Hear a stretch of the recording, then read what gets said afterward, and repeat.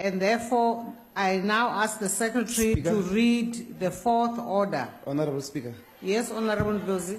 No, no. Uh, Honorable Speaker, I want to rise in terms of Rule 31,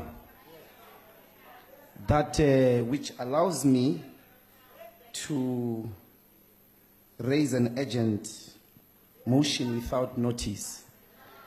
I want to sincerely, Speaker, on behalf at least of the EFF, to congratulate you on your new marriage. Sincerely. We, we believe in love. And we believe that we must celebrate people who found love. We wish you success and happiness. Sincerely and genuinely speak. I mean that from the bottom of my heart. Thank you very much.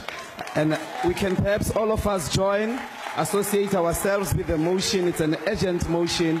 Let us celebrate love, comrades. Thank you. Uh, Honorable Ndlozi, thank you very much. But if I were you, I would have chosen a different time. But now that you have done that, may I take the opportunity to congratulate the Honorable Shope?